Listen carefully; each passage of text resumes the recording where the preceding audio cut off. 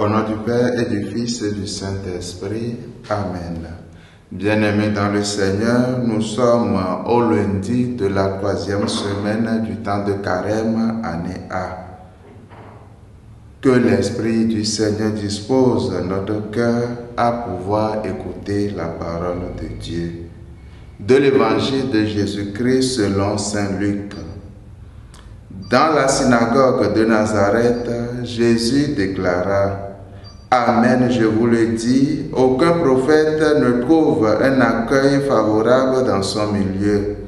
En vérité, je vous le dis, au temps du prophète Élie, lorsque pendant trois ans et demi le ciel retint la pluie et qu'une grande famine se produisit sur toute la terre, il y avait beaucoup de veuves en Israël. Pourtant, Élie ne fut envoyé vers aucune d'entre elles, mais bien dans la ville de Sarepta, au pays de Sidon, chez une veuve étrangère. Au temps du prophète Élisée, il y avait beaucoup de lépreux en Israël, et aucun d'eux n'a été purifié, mais bien Naaman le Syrien. À ces mots dans la synagogue, tous devinrent furieux. Ils se levèrent, poussèrent Jésus hors de la ville et le menèrent jusqu'à un escarpement de la colline où leur ville est construite pour le précipiter en bas.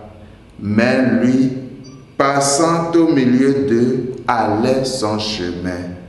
Acclamons la parole de Dieu. Louange à toi, Seigneur Jésus.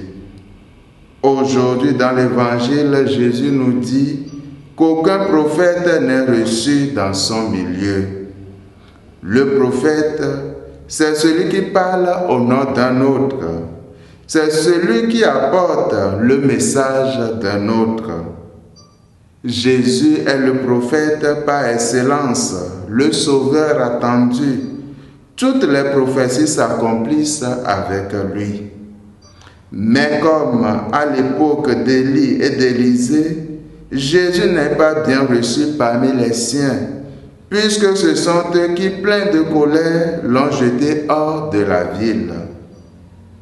Nous aussi, par notre baptême, nous sommes devenus prophètes. Et comme prophètes, nous avons l'obligation d'annoncer la parole de Dieu. Pour ce faire, comme le dit le pape François, nous devons écouter la parole avec une ouverture sincère, la laisser toucher notre propre vie. Car si nous ne consacrons pas du temps à cette parole pour prier, alors nous serons des faux prophètes.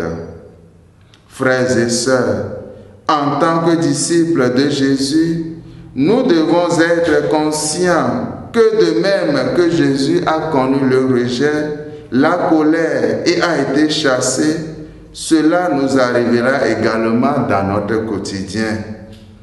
Puisse le Seigneur nous guider et nous nous accompagner sur notre route de prophète. Que Dieu Tout-Puissant nous bénisse et nous garde, lui qui est Père et Fils et Saint-Esprit. Amen.